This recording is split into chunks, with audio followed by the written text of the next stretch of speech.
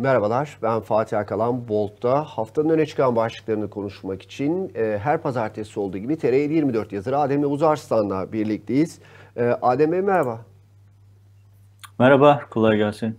Teşekkürler. E, nasılsınız? Nasıl gidiyor Amerika'da e, işler? E, Trump her gün e, tweet atmaya devam ediyor herhalde. Yani e, bir, bir, bir Erdoğan rejimi ve bir de Trump rejimi e, ikisine birden muhatap olan Türk gazeteci olarak nasıl olabilir? yani e, Amerika'yı da kendimize benzettik kısa süre içerisinde. Amerika'da son dakikaların hiç eksik olmadığı, krizlerin, tartışmaların, skandalların hiç eksik olmadığı bir hale geldi. Özellikle 8 yıllık Obama dönemindeki Obama döneminin en belirgin özelliği hiç skandal olmamasıydı. Gazeteciler artık çok sıkıcı olduğundan falan bahsediyordu rejimin o dönemin. Trump geldiği günden bu yana onun acısını çıkartıyor. Ee, her gün, her dakika, her gün yeni bir e, gelişme, yeni bir son dakikayla. Bizim de artık e, özellikle son 10 gün içerisinde, 12 gün içerisinde e, inanılmaz bir tempo. Her dakika yeni bir gelişme. Özellikle Suriye ve Türkiye'nin operasyonu sonrası alınan ambargo kararları sebebiyle. Ama bu hafta sonu biraz daha sakindi. Özellikle ateşkes için oluşan e, bekleme süreci, burada da bekleme süreci. Tabii Amerika'nın kendi gündemleri var. Amerika seçim atmosferine hazırlanıyor. E, görevden alma azil tartışmaları aynı hızla devam ediyor. Onların kendi gündemleri devam. Şimdi aslında 17 Ekim'de başlayan bir e, 120 saatlik süre var. E, eğer hani o evet. 17 Ekim saat 22 civarı başladığını düşünürsek ABD Başkan Yardımcısının ilanıyla e, başlayan bir ateşkes süreci var. Eğer bu süreye uyulursa yarın e, 22 sıralarında e, Türkiye saatiyle e, süre dolacak. Şimdi e, şu ana kadarkileri de e, düşünerek şu soruyu sorayım. Ne olacak bundan sonra? Yani bir yandan çekilme devam ediyor ama bir yandan da e, şehit haberleri gelmeye devam ediyor. E, tabii orada da çok fazla e, karmaşa var. Nedeni şu. Yani şimdi bir kere öncelikle şunu söyleyelim. Hani e, silahların susmuş olması, e, çatışmaların nispeten bitmiş olması arada e, yaşanan e, olayları saymazsak tabii ki sevindirici bir şey. En azından daha az insan ölüyor ama anlaşma bu 13 maddelik anlaşmanın e, sorusu cevabı 13 maddeden çok fazla. Ya en başta temel soru şu ortada duruyor. Şimdi Türkiye'nin açıkladığı güvenli bölge ile Amerika'nın açıkladığı güvenli bölge aynı şey değil. Yani Türkiye diyor ki işte Türkiye sınırından 32 kilometre aşağıya M4 e, otobanıyla Türkiye arasında kalan 32 kilometre derinliğinde işte 400 küsür kilometre genişliğinde bir güvenli bölgeden bahsediyor. Amerika diyor ki bizim yani özellikle Suriye özel temsil James Jeffrey'nin bu Ankara'da düzenlediği basın toplantısında vardı bu. Diyor ki bizim anlaşma e, ateşkes ya da işte Türkiye'nin tabiriyle ara verme, pausa basma meselesi Tel Abyad'la Resulayn arasındaki bölge için diyor. Şimdi Tel Aviv'le Resulayn arasındaki bölgenin toplam genişliği en geniş yeri 100, 110 kilometre falan. Yani ortada bir 400 küsür kilometrelik bir güvenli bölge yok.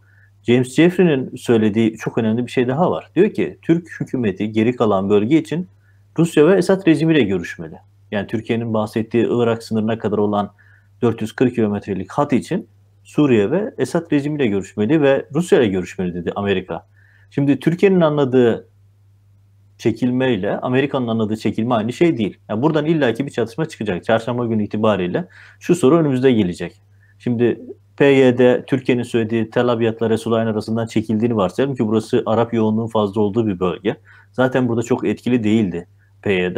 Buradan çekildiği bölgeden e, dışında kalan bölgelerden çekilmedi. Bu durumda Türkiye operasyona devam edecek mi? Yoksa evet tamam e, anlaşmaya uydular bize devam etmiyoruz diyecek mi? Bence buradaki karmaşa e, düğüm haline gelmiş durumda. Tabii bu düğümü çözecek olan da şey e, Soçi görüşmesi.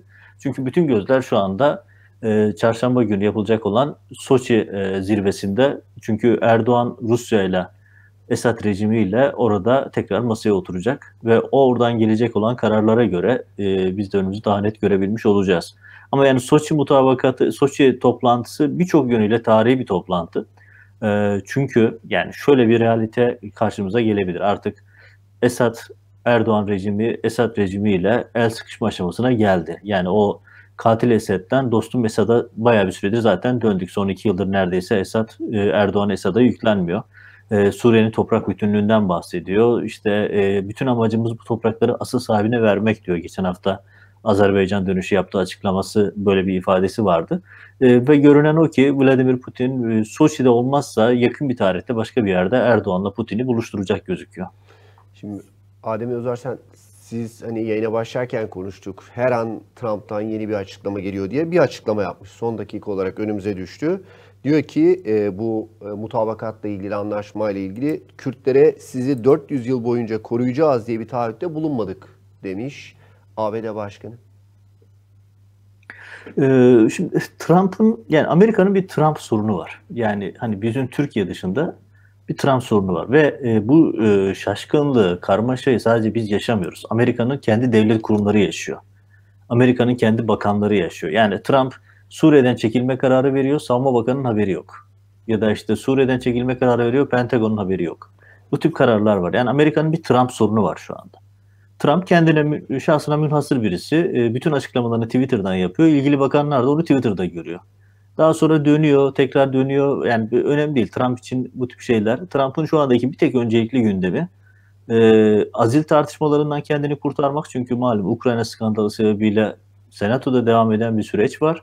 E, o sürecin ayrıntılarına da bakabiliriz daha sonra. O sürecin dışında yani Trump şu anda öncelikli gündemi o. Trump bir haftadır memnun. Özellikle son e, anlaşma yapıldığı günden bu yana memnun. Çünkü yani e, daha doğrusu Suriye'den çekilme kararını açıkladığı günden bu yana durumdan memnun. Çünkü Kürt meselesi, Suriye'deki operasyon Amerika gündeminin birinci sırasına yükseldi.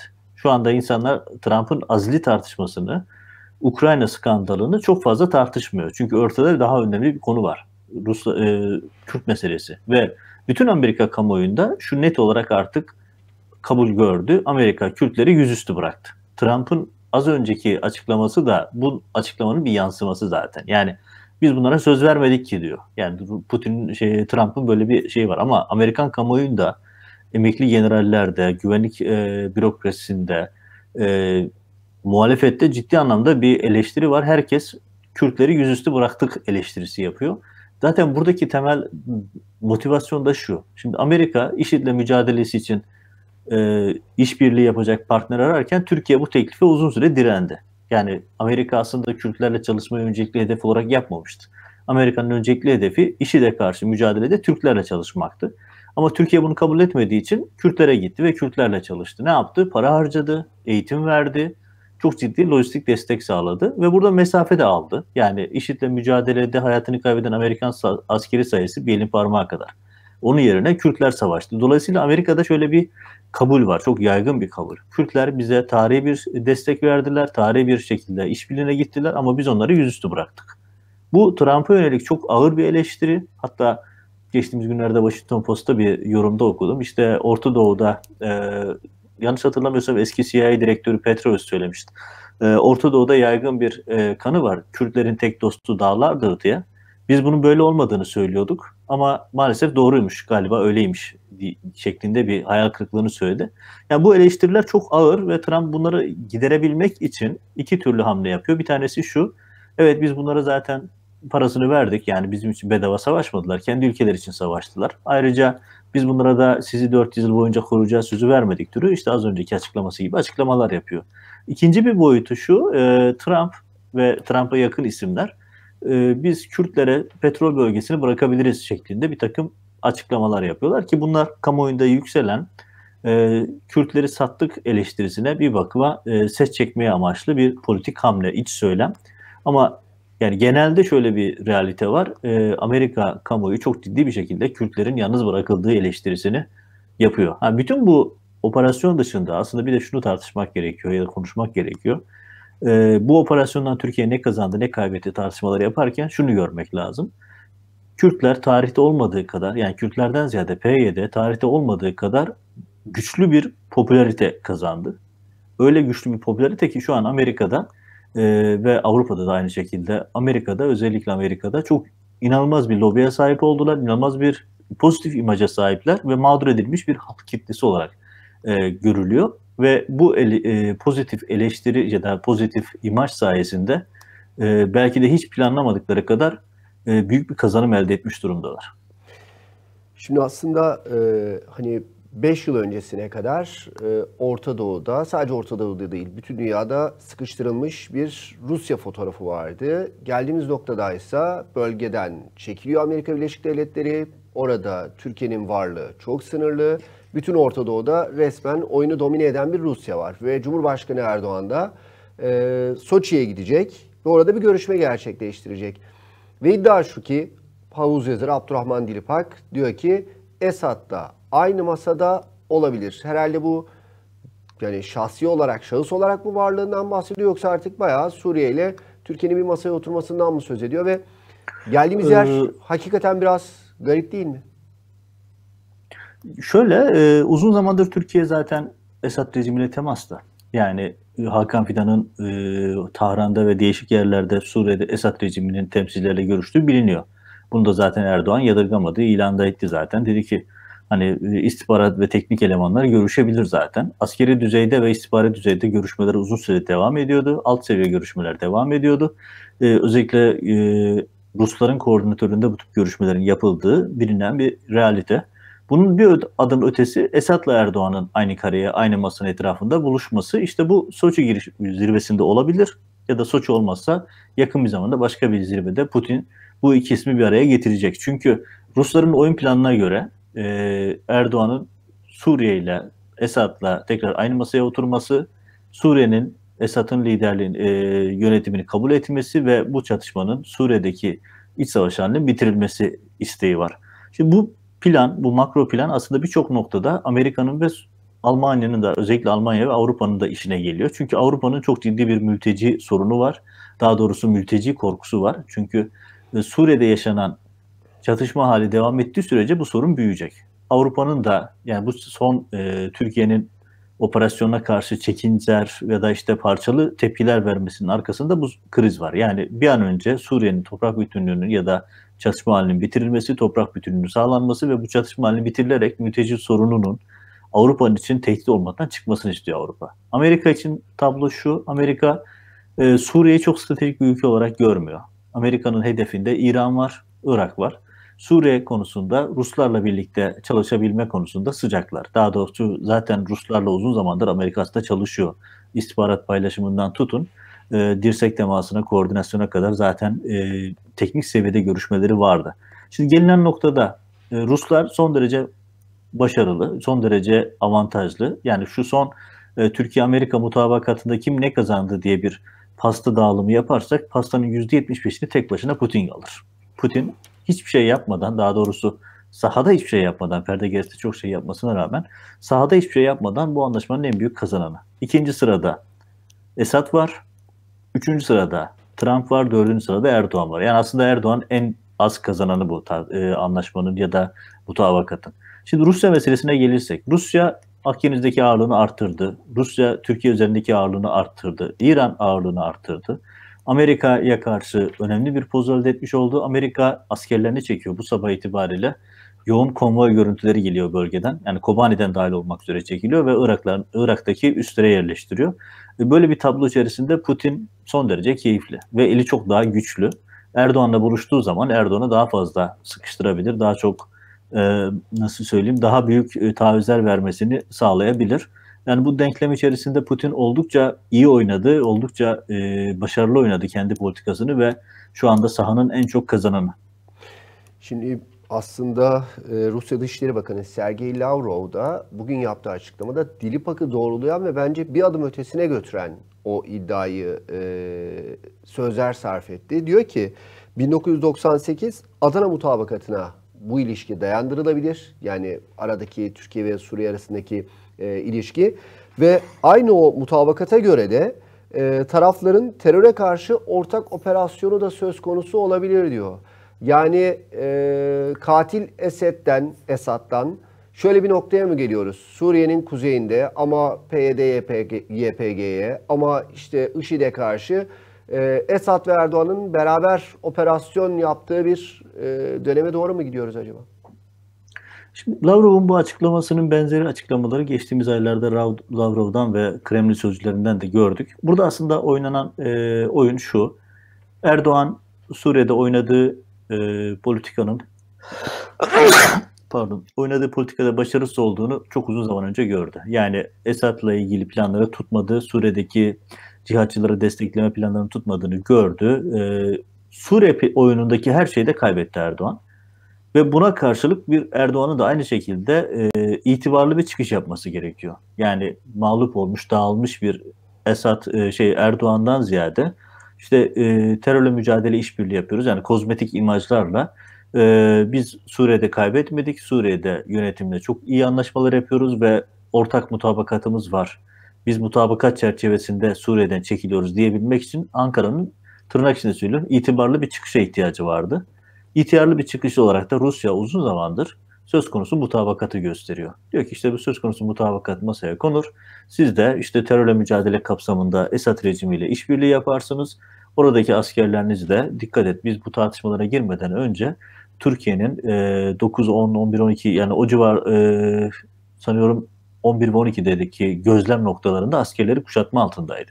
Evet. Yani bu kadar kritik, kritik olayların yaşandığı bir bölgeden Türkiye'nin nasıl çekileceği sorusu aslına bakırsa Putin'in insafına kalmış durumdaydı.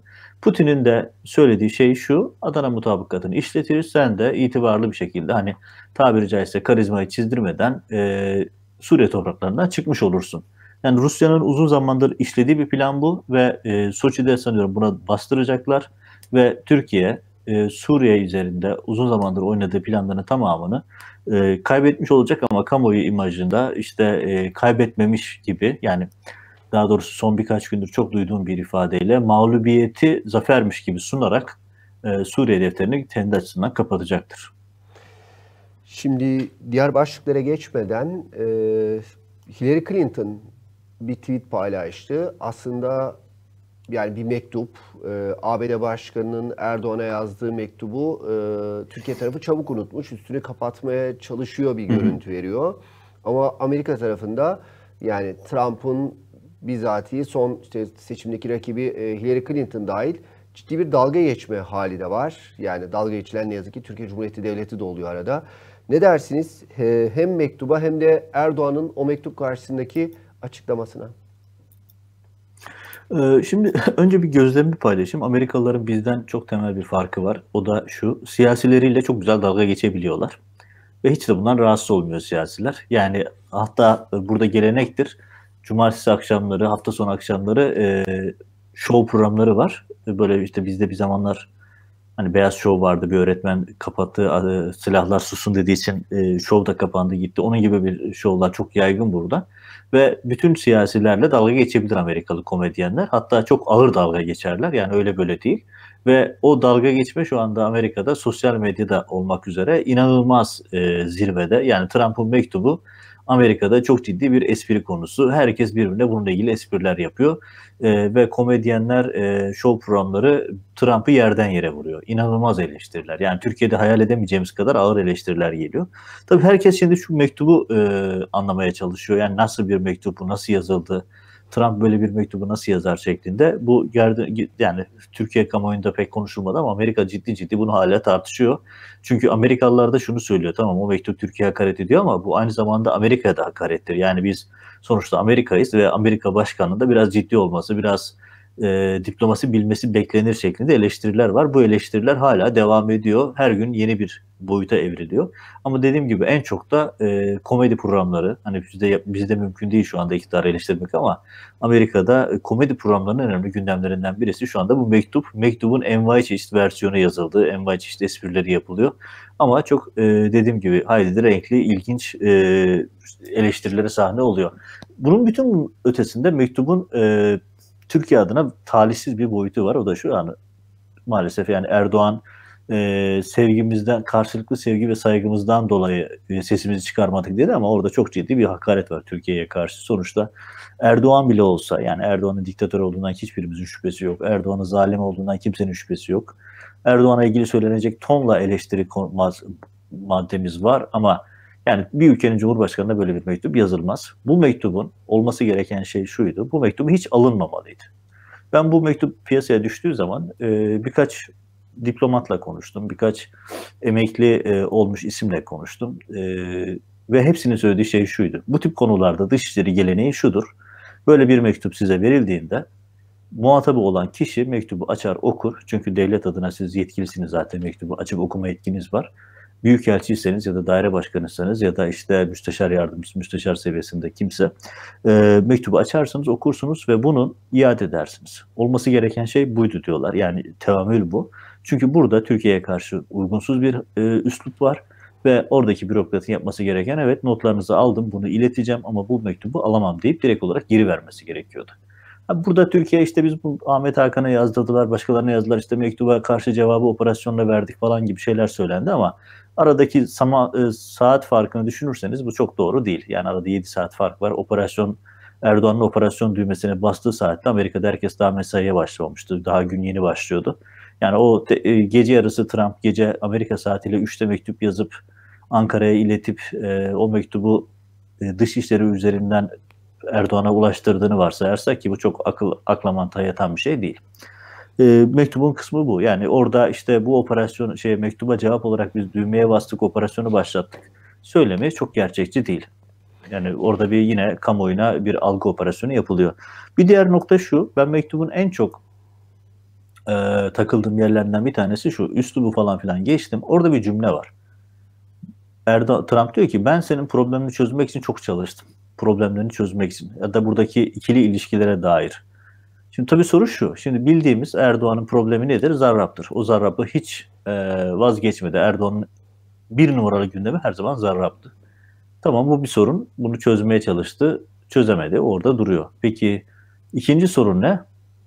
İşte Gülen meselesi. O konuya da geleceğiz. Orada da önemli gelişmeler yaşanıyor. E peki başka ne var? Şimdi bunu bilmiyoruz. Şimdi problems yani bir tane problem değil orada çoğul kullanıyor cümlede. Acaba Erdoğan'ın kamuoyunun bilmediği başka hangi meseleleriyle Trump ilgilendi? Bunları çözmeye çalıştı. Bence bu çok önemli Amerikan medyası sanıyorum şu anda bu sorunun cevabını arıyor. Ee, bu önemli bir nokta. Bu mektubun e, Erdoğan'ı dize getirmesi, bu mektubun Erdoğan'ı e, sesini çıkarmaması hayli enteresan. Yani normal şartlarda Erdoğan'ın bu mektuba aynı üslupla yazılı cevap vermesi gerekiyordu. En azından mektubu almaması gerekirdi. Burada ne oluyor? Burada olan şey şu, e, bu mektupla ilgili bağlantı olarak Amerika'daki e, Türkiye yönelik yaptırım yasalarının detayı. Türkiye ile ilgili yaptırım yasalarının şu anda 3 tane yasa var ayrı ayrı hazırlanmış ve bunlar e, süreci bekliyorlar. Şu anda senato aşamasında e, bir ön hazırlık aşamasındalar. E, orada yer alan bir ifade var. Çok ilginç, çok önemli. Bence Erdoğan'ı geri adım attıran, Erdoğan'ı Amerika'ya karşı alttan aldıran çok temel bir faktör var. O da Erdoğan ve ailesinin şahsi mal varlığı. Bu konuyu açtığı anda Amerika Erdoğan yelkenleri indirdi. Normal şartlarda böyle bir tartışma olmamış olsa Erdoğan bu mektubu ikinci bir one minute çevirir, Amerika'ya karşı kullanır ve buradan yoğun bir siyasi kazanım elde etmeye çalışırdı. Yani İsrail'e yaptığı one minute'in benzerini Trump'a yapabilirdi. Yapma e, hamlesi yap, olarak kullanırdı bu mektubu ama yaptırım yasasında yer alan bir cümle Trump ve ailesinin şey Erdoğan ve ailesinin mal varlığı, şahsi mal varlığı meselesi bence Erdoğan'ın yumuşak karnı ve adeta şu anda Türkiye için milli güvenlik meselesi. Çünkü Erdoğan'dan kim ne almak isterse bu konuyu kaşısa sonuca gidebileceğini gördü. Trump çok önemli bir test yaptı ve bu testte başarılı oldu. Şimdi tam bu noktada mesela şunu da hatırlatmak lazım. Hakikaten o mektuba cevap e, yapılan operasyonsa sizin de dediğiniz gibi Erdoğan bunu bir one minute'e çevirebilir. Hem operasyonu yaptık hem de size ey Trump diyoruz derdi ama bunu demedi. Dediğiniz gibi işin üstü kapatıldı. Ben şey anlamadım orada. Karşılıklı saygı ve sevgimizden dolayı mektup meselesini büyütmedik diyor Erdoğan. Ben mektupta karşı taraftan böyle bir saygı hani namına çok bir şey görmedim mektuptaki ifadelerde. Şimdi e, Amerika bahsini kapatmadan e, sizin Buraya geçmeden yerden. şöyle bir evet. hatırlatma yapayım. O da şu. Şimdi biz dahil, e, yani bizim anlamamamız normal ama bütün Amerika şu anda şu soruya cevap arıyor. Ya Trump'la Putin ve Erdoğan üçlüsü, yani bir üçgen düşünelim. Üçgenin üç ayağında üç tane isim var. Trump, Erdoğan ve Putin. Bu üçlü arasında nasıl bir ilişki, nasıl bir anlaşma var ki her şey beklenmedik şekilde gelişiyor. Yani Amerika kamuoyunun, Amerikan senatosunun şu andaki temel sorusu şu. Ya Erdoğan ile Trump arasında nasıl bir telefon görüşmesi olabiliyor ki Trump tek başına bütün Amerika'yı karşına alıyor? Ya da Putin ile Trump arasında nasıl bir ilişki var ki her şey Putin'e yarıyor? Şimdi bütün Amerika, bütün Amerikan senatosu, bütün Amerikan medyası bu soruya cevap arıyor. Hani bazen biz olayları analiz etmekte kendimizi çaresiz ya da yetersiz hissediyoruz. Çünkü yani hiçbir yere uymuyor. Hiçbir standarda, hiçbir teoriye, hiçbir geleneğe, te- gelişime uymuyor. Pat diye başka başka bir tabloyla karşılaşıyoruz. Şimdi Amerikalıların da cevabın aradığı soru bu. Acaba Trump, Erdoğan ve Putin üçgeninde ne tür bir gizli anlaşma var? Çünkü başka türlü hiçbir şekilde kimse oturtamıyor. Yani bu yaşanan gelişmeleri. Yani Amerika asker çekiyor yerine Suriye şey Ruslar yerleşiyor. Ya bütün soğuk savaşı, bütün o 100 yıllık gelişmeleri nereye koyacaksınız? Yani düşünün Ruslar şey Amerikalılar askerini çekiyor ve yerine Ruslar yerleşiyor. Bu durumdan iki taraf da memnun. Üçüncü Evet. tarafı Erdoğan da memnun. Yani bunun Aslında bir izahı olması lazım. Kimse bu izahı yapamıyor. Siz söylediğinizde işte Amerikan askerleri Irak'a e, konvoylar halinde o tarafa geçiyorlar demiştiniz. Ama ortada da hani bir yandan da işte biz Kürtlere size 400, boy, 400 yıl boyunca koruyacağız diye söz vermedik diyen de bir Trump var. Kendiniz çekiliyorsunuz. Türkiye'nin oradaki varlığını tampon bölgeyle durdurmaya çalışıyorsunuz. Kürtleri tırnak içinde söyleyeceğim yüzüstü bırakıyorsunuz, satıyorsunuz. Peki orada Ruslara karşı oyun planınız ne ve ya da var mı ya da amacınız ne sorusu gündeme geliyor. Yok böyle Yani- bir Evet, benim beklentim şu, e, Amerika'nın da e, kaza, e, Suriye yönelik projesi, az önce söylediğim gibi Amerika Suriye'yi stratejik bir ülke olarak görmüyor. Stratejik bir sorun olarak da görmüyor. Suriye'nin Esad e, kontrolünde İran ve Rusya destekli bir tek parça olarak kalması şu anda Amerika'nın çıkarlarına daha iyi hizmet edeceğini düşünüyorlar. Böyle bir planları var. Yani Kürtlerin de ayrı bir yapı olması yerine Rusların e, kontrolündeki Esad rejimi içerisinde bir takım özellik ya da bir takım ayrıcalıklar verilerek bir bütünün içerisinde kalması Amerika'nın da şu anda makul çözümler içerisinde kabul ettiğini görmek mümkün. Tabii şu anda Türkiye'nin e, Tel Abyad ve Resulayn arasındaki bölgeyi şu anda boşaltarak buraya Arapları yerleştirmek istemesi de e, Avrupa'nın işine gelen bir tablo. Çünkü mülteci sorununu belli oranda azaltacaklar. Yani ortada bir e, hani dış politikada e, çıkarlar önceliklidir diye bir temel teori vardır ya işte o teori gerçekleşiyor. Yani Rusya'nın çıkarları, Amerika'nın çıkarları, Avrupa'nın çıkarları herkes kendi çıkarı noktasından bakıyor. Ha, bu esnada e, sahada insanlar ölüyor, sahada insanlar hayatını kaybediyor. O çok kimsenin ömründe değil maalesef. Şimdi benim aslında bu Tel Abyad meselesiyle ilgili de anlayamadığım bir şey var. Yani e, Türkiye'deki son zamanlarımızda orada operasyonlar devam ederken kendim bizzat kameraman arkadaşımla beraber defalarca Tel Abyad tarafına geçtik. Yani Türkiye'nin sınırda elimizi kolumuzu sallayarak geçebildiğimiz bir yerde. Bütün gazeteciler için geçerliydi bu. Biz geçmeyi tercih ettik. Geçtik. Birkaç kez 20-30 kilometre kadar da içeriye gittik. Orada YPG falan yoktu. PYD yoktu. PKK yoktu. Bildiğimiz şu anda ÖSO olarak adlandırılan güçler vardı. Hangi ara Türkiye oraları terk etti ve şimdi oraları temizlemek için tırnak içinde söylüyorum yine uğraşıyoruz ve operasyon yapıyoruz. Bu da garip. Hani çabuk unutuyoruz. Ya benim diyorum ya kendim 20-30 kilometre içeriye kadar gittim. Onun ötesinde bilmiyorum. Belki daha da ötesinde vardı ÖSO. Daha da geniş bir alanı kontrol ediyordu o dönemde ÖSO. Enteresan yani hani e, öbür Ama tarafta bütün bu denklemin şöyle bir sonucu daha var. Kürt meselesi artık daha uluslararası, daha internasyonel bir hale geldi. Evet. Türkiye yani bu herkes Türkiye'nin tarihi bir zafer kazandığını falan söylüyor. Yani ama bir de masaya realiteleri koyduğun zaman tablo öyle değil. Kere mesela Türkiye dünyada hiç olmadığı kadar yalnız kaldı. Arap sokağını dahi kaybetti. Erdoğan'ın sıkı destekçileri dahil artık yok. Kürt meselesi evrensel bir sorun haline geldi. Yani Türkiye'nin Kürt meselesi artık Türkiye'nin meselesi olmanın çok ötesine geçti. Ya bütün maddeleri alt alta sıraladığınız zaman kim kazanıyor, kim kaybediyor sorusunu tekrar bir değerlendirmek gerekiyor. Evet şimdi Amerika bahsini e, kapatmadan daha doğrusu akçeli, iş, akçeli işler gündemine geçelim istiyorum. Bir tarafta e, Amerika Birleşik Devletleri'nde bir Halkbank davası var. Yeniden gündeme geldi. Aslında Erdoğan'ın mal varlığı vesaire dediğimizde işin ucu bir sanki o tarafa doğru da gidiyor. Ama orada bu dava e, yeniden gündeme gelirken Türkiye'de ise enteresan bir şey oldu. Halkbank'ın o eski genel müdürü yardımcısı Hakan Atilla'ya üst düzey bir görev verdiler ve borsanın başına getirdiler. Ne diyorsunuz? Evet. Buradan başlayalım mı?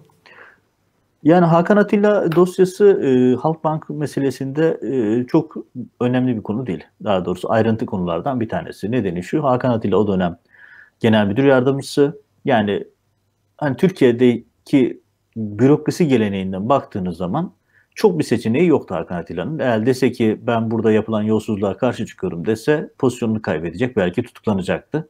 Onun yerine yaptığı şey ne oldu? Onun yerine işte e, görmedim, duymadım gibi falan bir noktayla e, önünde geçen o büyük yolsuzluk çarkına müdahil olmadı. Kendisi de rüşvet almadığı için zaten Amerika'daki davada en büyük avantajı e, kendisiyle ilgili rüşvet olmaması, bu rüşvet çarkına, trafiğine bulaşmamış olmasıydı. O sayede e, iyi hal indirimi almış oldu. Yani Hakan Atilla'nın bu şekilde ödüllendirilmesi Erdoğan rejimi aslında şu anlamı geçiriyor. Hani yarın bir gün bir yerde itirafçı birileri başka birileri çıkarsa başka yeni davalarda onlara örnek olsun. Eğer beni satmazsanız ben de sizi korurum kollarım demiş oluyor Erdoğan bu hamlesiyle. Ama bir diğer taraftan da hani madem uluslararası imaj meselesine bakıyoruz, yolsuzlukla suçlanan öyle veya böyle e, Amerikan mahkemelerinde yargılanıp hüküm giyen bir üst düzey yöneticiyi getiriyorsunuz, borsanın başına koyuyorsunuz. Sonra Türkiye ekonomisi bir yere gitmiyor, işler iyi değil diyorsunuz, yatırımcı bekliyorsunuz. Yani e, başında hüküm giymiş, yolsuzluktan hatta uluslararası kara para ticareti vesaireden hüküm giymiş birinin olduğu bir borsası var Türkiye'nin. Bunun bir e, maliyeti Onun dışında yok mu? daha büyük bir kriz var. Mesela bakın Eylül ayının içerisinde Ekim ayı, e, Eylül sonunda Ekim başındaydı yanlış hatırlamıyorsam. Amerika'da IMF toplantıları, Amerika'da uluslararası finans kurumlarının toplantıları olur. Her sene Washington'da yapılır bu toplantı. Berat Albayrak gelmedi. Merkez Bankası Başkanı gelmedi. Belki Dünya ekonomisinin nabzı burada atar ki. Ee, bilemiyorum başka bir de çekincesi de olabilir. Yani Merkez Bankası Başkanı'nın ya da e, Berat Albayrak'ın gelmemesini burada herkes not etti. Yani Amerika'da ekonomi çevresindeki herkesin olduğu bir yerde bu iki isimler yoktu. Bu isimler neden gelmedi? Bunun Halkbank'la ilgisi var mı? Bence var. Yani çünkü peki ne tür yani neticede bilgiye dayalı olmadığı için mutlaka bir spekülasyon da dönüyordur. Neler konuşuluyor? Yok bilgiye dayanması değil. Bilgiye dayanıyor. Aslında delile dayanıyor. Reza yani Zarrab davasını izleyen Henüz herkes... daha dava yeni başladı orada Halkbank'ın ikinci davası. Hani ekonomi çevrelerinin konuştuğu kısmıyla mutlaka adli çevrelerde e, somut bilgiye dayalı bir süreç yürüyor. Şöyle söyleyeyim. Amerika'da savcılar şöyle çalışıyor. Bizim savcılar gibi değil Amerikan savcılarının çalışma usulü. Bizim savcılar hemen çala kalem bir iddianame yazar. E, kervanı yolda düzerler. Böyle çalışırlar. Amerikalı savcılar da tersini yapar. Tuşlu kurma yöntemiyle çalışır. Yavaş yavaş malzemeleri biriktirir. Delilleri toplar. E, zamana yayar. Hani böyle davaların hazırlanma süreci Hani bizde iddianame çok çabuk yazılır, yargılama çok uzun sürer. Amerika'da tersi bir durum var. İddianame uzun sürede yazılır. Deliller toplanması, hazırlıklar uzun süre yapılır, yargılama hızlı geçer. Aslında doğru olan, insani olan da budur. Yani kimseyi tutuklu yargılamak e, çok e, ideal bir şey değil. Özellikle de Amerika'da buna çok dikkat edilir. Yani bir yargı, bir davanın hazırlığı iki sene sürüyorsa onun yargılaması bir ayda falan bitiyor. Şimdi böyle bir tablodan bahsediyoruz. Şimdi Amerikalı savcıların turşu kurduğu tezini unutmamak lazım. Yani siz onların hiçbir şey yapmadığını düşündüğünüz anda bile onlar aslında bilgi belge topluyordur. Böyle çalışırlar. Zarrab meselesinde de aynısı oldu. Şimdi Halkbank meselesinde de aynı şey söz konusu. Yani herkes Halkbank'la ilgili dosyanın kapandığını sanıyorken aslında o dosya ilerliyordu. Delil toplanıyordu, çalışmalar yapılıyordu vesaire. Yani Amerika bunun için bilmeye gerek yok. Amerika yargı sistemi hakkında birkaç dava izleseniz zaten bu usulü görüyorsunuz. Şimdi bu işin genel çerçevesinden sonra şu detayı vereyim. Şimdi Zarrab davasının yargılandığı mahkemede ki ben 30 gün boyunca o duruşma salonunda izledim. Birçok noktada karşımıza Berat Albayrak çıktı. Yani Çalık Holding döneminden başlayıp e, Ankara'da ekonomi bürokrasinin zirvesinde olduğu dönemlere kadar olan süre içerisinde birçok nokta dönüp dolaşıp Berat Albayrak'a gitti. Dolayısıyla Berat Albayrak'ın Halk Bankası dosyasının içerisinde isminin geçmesi ya da bu dosya kapsamında gündeme gelmesi hiç sürpriz değil. Başka isimler de var ee, Erdoğan'ın çevresinden bu işe çok yoğun bir şekilde bulaşmış olan ve dolayısıyla bu isimlerin Amerika'ya gelirken endişe duyması, acaba bir şey olur mu diye sağa solu kontrol etmesi ki bir kulis bilgisi olarak aktarayım. Birçok üst düzey AKP'li bürokrat Amerika'ya gelmeden önce e, gelsem mi gelmesem mi diye Amerika'da kamuoyu araştırması yani daha doğrusu bildiği insanlardan soruyor gelsek başımıza bir iş gelir mi şeklinde. Bunları yaparak o yola çıkıyorlar. E, Berat Albayrak'ın bir takım şeyleri düşünerek yola çıkmamış olması çok da sürpriz değil. Evet, Türkiye Cumhuriyeti'nin Hazine ve Maliye Bakanı'nın Amerika Birleşik Devletleri'ne gidemediği kadar iyi ilişkilere sahibiz ABD ile. Böylesi bir... E... Burada şu hatırlatmayı yapayım Fatih Hakan. Birkaç gündür yoğun bir şekilde sosyal medyada ve medyada, gerçi yani ne kadar medya kaldı ayrı bir konu ama bir şey okuyorum. E, ne diyor ki işte e, Trump düğmeye bastı, Halkbank davasını açtırdı. Şimdi bu doğru bir analiz değil. Yani bir kere Amerikan usulü açısından doğru bir analiz değil. Yani o dava zaten açıktı. Yani o dosya zaten açık bir dosyaydı ve hani az önce söylediğim gibi Amerika savcıları tuşçu kuruyor derken bunu zamana yayıyorlar anlamında söylüyorum. Yani bir dosyaya çalışırken çok ince, detaylı bir şekilde ve önünde zaman baskısı olmadan ilerliyor. Bütün delilleri topladıktan sonra dava aşamasına geçiyor ve yargılamayı çok hızlı bitiriyor. Yani bizdekini tam tersi. Şimdi Zarrab davası devam ederken aslında Halkbank'a bu davanın açılacağı çok belliydi. Hatta benim iki yıl önceden yazdığım yazılar var. Tam da Amerika ile Türkiye'nin arasında bir kriz durumu varken gündeme gelmesi ya da en azından kamuoyunun belli e, hususlardan haberinin olması da fazla tesadüfi değil mi? Yani şimdi zamanlama manidar sözünü her şeye uydurmak mümkün. Ama evet. burada bir çerçeveyi üçlü tamamlayayım orada geleceğim. Şimdi bir bu dosya zaten devam ediyordu. İkincisi şu. Reza Zarrab'ın savcılarla işbirliği devam ediyor. Çünkü Zarrab'ın savcılarla olan işi henüz bitmiş değil. Bu da önemli bir nokta. Üçüncüsü şu. Halk Bankası'nın işlediği suç Hakan Atilla davasıyla sabitleşti. Yani bir mahkeme kararı. Bu kararla ilgili olarak Türkiye ile uzun süre müzakereler devam etti. Hatta Türkiye Halk Bankası ile ilgili lobi yapması için milyonlarca dolar para harcadı. 3 milyon dolardan bahsediliyor. Sadece lobi şirketine verilen para. Şimdi bunun gibi detaylar var. Artı Türkiye ile yoğun müzakereler yapıldı. Bakın dedik yani Amerika tarafından bu kadar e, işlenmiş suç var. Ceza olarak şu kadar para ödenmesi gerekiyor. Amerika, Türkiye tarafı bunu kabul etmedi. Yani uzun süre bu müzakereler devam etti ve en sonunda dava patladı. Hani iki yıl sonra davanın açılmış olmasının böyle bir background'ı var. Ha, iki yıl sonra açıldığında bunu tam da Türkiye ile krize denk gelmiş olması bir vaka mıdır? Evet bir zamanlama manidar düşüncesini destekleyen şeyler bunlar. Ama bu Trump'a rağmen açılmış bir dava. Trump'la Trump'ın desteğiyle açılmış bir dava değil. Hatta şu background bilgiyi hatırlatayım. Trump'ın başının belası olan yer bu savcılık. New York Güney Bölge Savcılığı. Çünkü Manhattan Trump'ın Trump Tower'ın ve Trump'ın şirketlerinin merkezi orası. Trump'ın başına bela olan bir savcılık burası. Trump'ın etrafındaki 5 tane önemli ismi tutuklayan bir yer burası ve Trump söz geçirebilse bunlara söz geçirecekti. Yani o açıdan hani Trump savcıya talimat verdi, dava açtırdı. Tezi ne Amerika hukuk sistemine uyuyor ne de realiteye uyuyor. Ha, savcılar bunu bu aşamada neden harekete geçmiş olabilir? Evet savcılar da bu harekete bu kamuoyu denklemini de düşünmüş olabilirler. Hani zamanlama, zamanlama manidar kısmı burada devreye giriyor. Zaten anlaşmadan ilerleyemiyoruz. Zaten Türkiye yönelik ambargo girişmeleri var. Bu fırsattan istifade bu davayı açalım demiş olabilirler. E, bilemiyorum bu benimkisi tahminden ibaret. Ama zamanlama açısından da bu atmosferi değerlendirmiş olabilir savcılar. Ama dediğim gibi hani bu davayı takip eden birisi olarak söyleyeyim bu süreci. E, bu davanın uzun bir background'u var ve hani işler bozuldu. Trump talimat verdi, düğmeye bastı. Buradan yeni bir dava açıldı söylemi realiteye ters bir söylem. Yok sadece hani neticede bütün siyasi bu davaların neticede bir siyasi kamuoyu desteğine ihtiyacı var. Toplumsal desteğe ihtiyacı var bu tip büyük davaların. Savcıların ve kolluğunda e, bu tip e, kamuoyu desteğinin yükseleceğini düşündüğü zamanlarda adım atması Türkiye'de darbe olarak adlandırılıyor ama bütün dünyada sanırım e, böyle yürüyor. Savcılar da neticede insan ve yaptıkları işin arkasında duracak bir toplumsal destek arıyor olabilirler. Sadece benim dedi ki benimkisi de bu yorum. Şimdi başka bir Akçeli mesele günlerdir İstanbul Büyükşehir Belediye Başkanı Akçeli işlerden gidelim diyorum. Gerçi özür dilerim. Tam hani bu bahsi bitirmeden. Oraya girmeden Amerika'da bir bahs daha var. Bir başlık daha var. Onu da ekleyeyim istersen. O da şu bence çok önemli bir başlık. Türkiye'de kimsenin dikkatini çekmiyor. E, son bir hafta 10 gün içerisinde iki tane kritik haber çıktı Amerikan medyasında ve bu haberlerin altında böyle çok senior, çok ciddi e, tecrübeli muhabirlerin imzaları var. İki haber bir tanesi şu. E, Trump avukatı Giuliani eski New York Belediye Başkanı yoğun bir şekilde Zarrab'ı kurtarmaya çalışıyor. Zarrab'ı kurtarmak için Trump'a baskı yapıyor. Trump da dönemin Dışişleri Bakanı Tillerson'a baskı yapıyor. Zarrab'ı bırakın. Zarrab'ı kurtarın şeklinde baskı yapıyor. Şimdi Türkiye ile Erdoğan'la çok iyi ilişkileri var. Erdoğan benim dostum, Erdoğan'ı üzmeyelim falan diyor. Şimdi bu soruyu bir tarafta dur. Şimdi bu önemli bir gelişme. Çünkü önemli Amerikan medyasının kurumlarında New York Times Washington Post gibi yerlerde, Bloomberg gibi yerlerde bunlar çıkıyor. Bu şunu gösteriyor. Yani uzun süre Erdoğan Trump'ı kurt şey, Zarrab'ı kurtarabilmek için Trump üzerinde yoğun baskı yapıyor. Çok yoğun baskı yapıyor. Başka şeyleri devreye sokuyor vesaire. Ama Zarrab'ı kurtaramıyor. Bu soruyu bir tarafa koyalım. Halkbank davasıyla birleştirelim.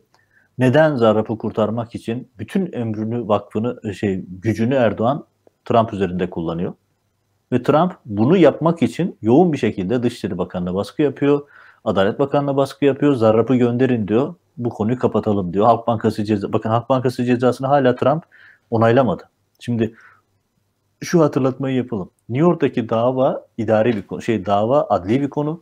Halk Bankası'na kesilecek olan para cezası idari bir konu. İdari konu Trump'ın yetkisi altında. Trump'a bağlı olan Ticaret Bakanlığı'ndan çıkacak olan bir konu. Ama e, adli konu Trump'a bağlı değil. Trump zaten bunu dediğim gibi söz geçirebilse kendi adamlarını kurtarırdı orada. Şimdi Trump idare cezayı engelliyor. Şu ana kadar bekletiyor. Hani henüz o cezayı açmadı. Ama yani bu da Erdoğan'la olan ilişkileri. Ha, bu neden çok önemli? Bu Trump'ın azil tartışmalarını da tetikleyen bir madde. Neden? Çünkü Amerikan Anayasası'nın dördüncü maddesine göre başkanlar adli süreci etkilemeye çalışamaz. Etkileyemez. Adli süreci etkilemeye çalışırsanız azil sürecini başlatırsınız, görevden alınırsınız. Şimdi Erdoğan'la olan ilişkisi, Trump'ın Erdoğan'la olan ilişkisi Trump'ın azilinde Trump'ın aleyhine işliyor. Bu birincisi. Yani Zarrab'ın kurtarılması için New York'taki devam eden mahkemeye müdahale etmesini istiyor Erdoğan ve Trump bunu kabul ediyor. Bunun için de kendi bakanlarına baskı yapıyor ama söz geçiremiyor. Bakan hayır diyor. Öbür bakan hayır diyor. Bürokratlara yapamayız bunu diyorlar ve dosya en azından sonuçlanmamış oluyor. İkinci haber şuydu. İkinci haber yine Giuliani ki şu anda Amerikan medyasının bir numaralı haber konusu. Trump'ın özel avukatı hatta e, birçok kişi Trump'ın Dışişleri Bakanı olarak e, görüyor onu. Herhangi bir hükümet görevi olmadığı halde. E, bir Ukrayna krizinde de ortada. Şimdi ikinci konu şu. Giuliani bu sefer Trump'a işte Gülen'i gönderelim baskısı yapıyor. Fethullah Gülen gönderelim. Ve hatta diyor ki haber bilgi veren kaynaklar, e, medya bilgi veren kaynaklar öyle ki diyor tek gündemi buydu. Gülen'i gönderelim, Gülen'i gönderelim. Trump'ı sürekli taciz ediyordu diyor. Trump da Beyaz Saray'da Oval Ofis'te e, toplantı yaptığı bürokratlarıyla, bakanlarıyla ya biz Fethullah Gülen'i nasıl göndeririz? Bu işten çıkalım. Hani Erdoğan dostumuz onu da kızdırmayalım. Bu işi kapatalım diye. Kendi bürokratlarına baskı yapıyor. Kendi bakanlarına baskı yapıyor. Bürokratları, danışmanları da her defasında şunu söylüyor. Teknik olarak mümkün değil. Çünkü biz bize Türkiye bugüne kadar Gülen ile Erdoğan şey 15 Temmuz arasında bir bağ sunamadı. Bir delil sunamadı bir sürü belge istedik. Hani Türkiye diyor ya işte 80 koli belge gönderdik falan. Onların hepsi gazete küpürü ya da anlamsız belge, kağıt parçaları. Şimdi böyle bir tabloda bürokratlar diyor ki ya bakın biz burası bir hukuk devleti. Burada bir yargı süreci var. Bize delil göndersinler gönderelim. Eğer Gülen'le 15 Temmuz arasında bir bağ varsa bunu delillendirmişlerse bunu kullanalım. Ama böyle bir şey gelmedi. Hatta biz hatırlarsınız Türkiye'ye bir ekip gönderdi Amerika Adalet Bakanlığı siz dosya hazırlamayı bilmiyorsunuz. Dosya öyle hazırlanmaz. Dosya böyle hazırlanır diye gitti Ankara'da bir briefing verdi Adalet Bakanlığı çalışanları. Amerikan Adalet Bakanı çalışanları. Ona rağmen ne oldu? Ona rağmen Türkiye'den herhangi bir delil gelmedi.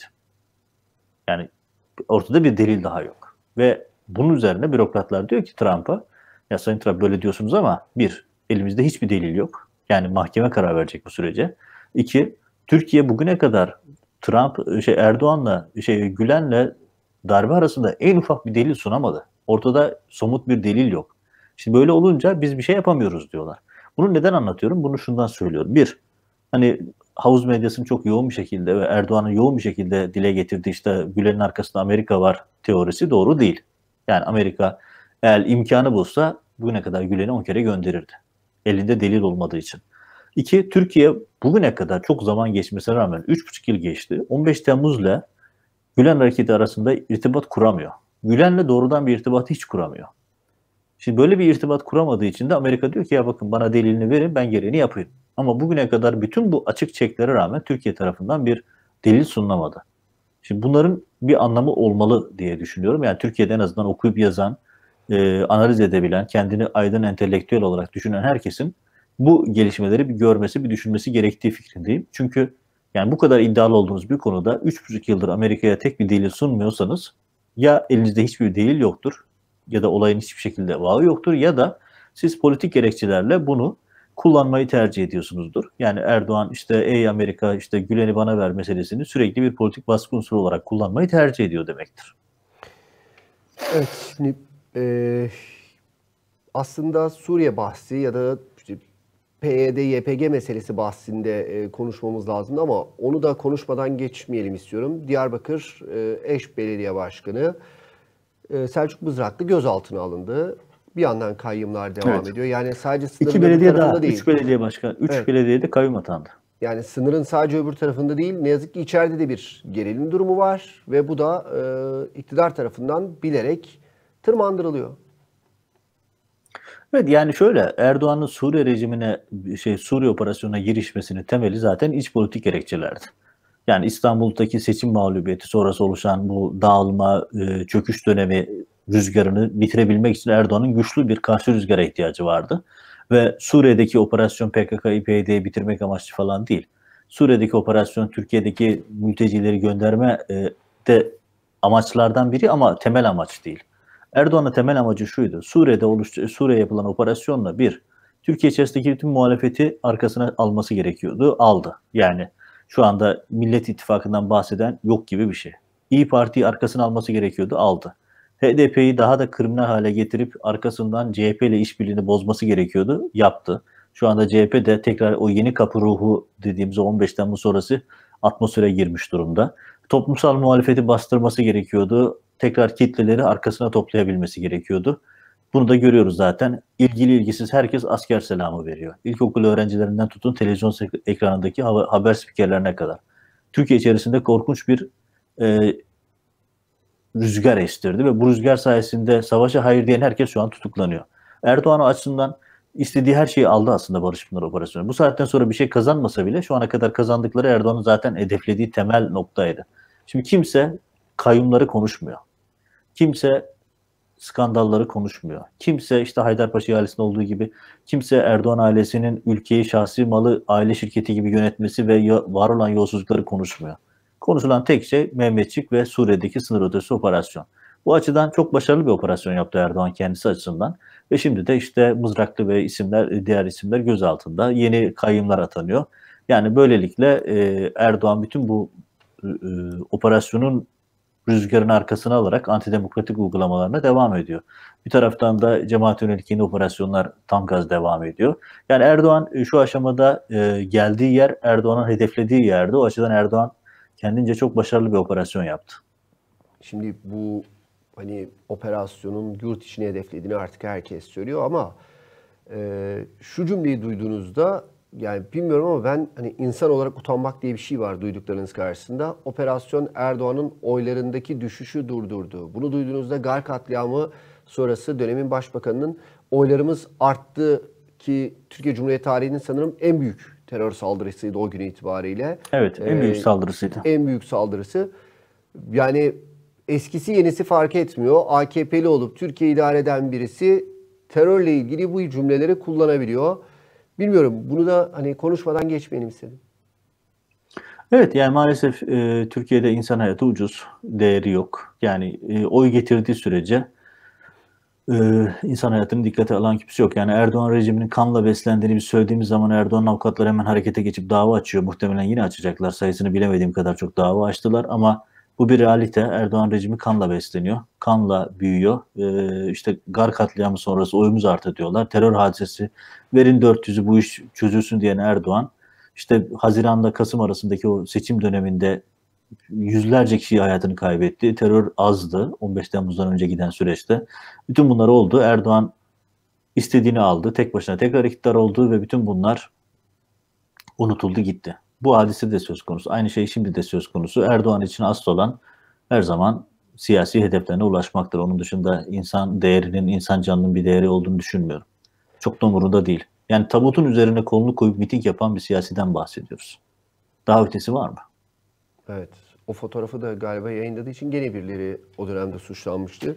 Ee, Türkiye Cumhuriyeti Cumhurbaşkanı'nı aşağılamak vesaire. Yani tabuta kolunu koyan kendisi ama bunu haber yaptığınızda siz suçlu oluyorsunuz. Böyle garip bir ülke burası. Şimdi e, bir başka başlık İstanbul'un yani Büyükşehir Belediye Başkanı günlerdir isyan ediyor. Bir Haydarpaşa ihalesi meselesi var. Aslında baktığınızda 17 yıllık AKP iktidarının özeti bir durum. Bir belediyenin eski çalışanı Erdoğan ailesiyle bir şekilde yakınlığı var. Sonra koskoca Haydarpaşa ve Sirkeci'deki garlar belediyeye değil yetersizliği varmış o belediye şirketlerinin düne kadar 3 bin lira maaşlı çalışan 10 bin lira e, sermayesi olan bir şirkete veriliyor. Ve bu hani hani halkın gözünün içine baka baka yapma diye bir tabir var ya aynen de böyle yapılıyor. Ama her şey öyle yapmadı mı AKP rejimi?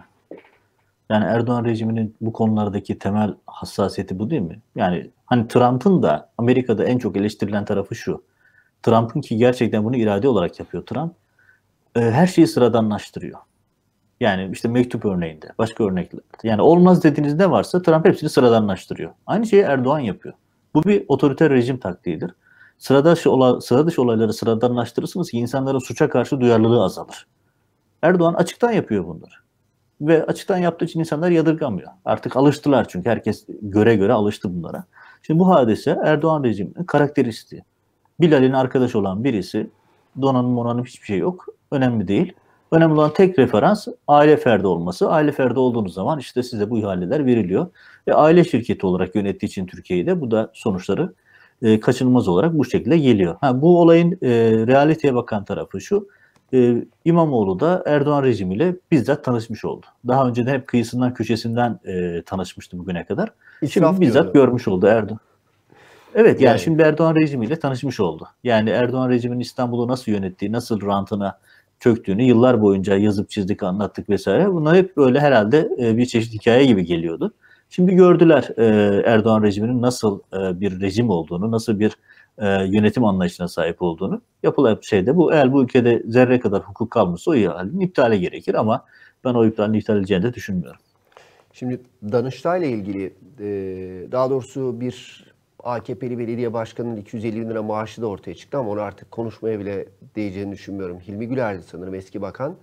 E, Evet, bir hesap Belediye Başkanı yapmışlar. 7 ayrı yerden dava alıyor, Evet. maaş alıyor. 250 bin lira yani maaş alan bir belediye başkanımız var. Ee, ne kadar iftihar etsek azdır kendisiyle. Bilmiyorum yani 125 Ama şöyle katı Fatih Hakan bu bir bu bir e, bu bir AKP rejimi realitesi. Şöyle ki şimdi piyasada gördüğümüz birçok isim e, birden fazla yerden maaş alıyor. Yani şimdi düşünün e, bir Cumhurbaşkanı danışmanı, Başbakan danışmanı ya da işte bir Anadolu Ajansı Genel Müdürü, bir basın ilan kurumu genel müdürü.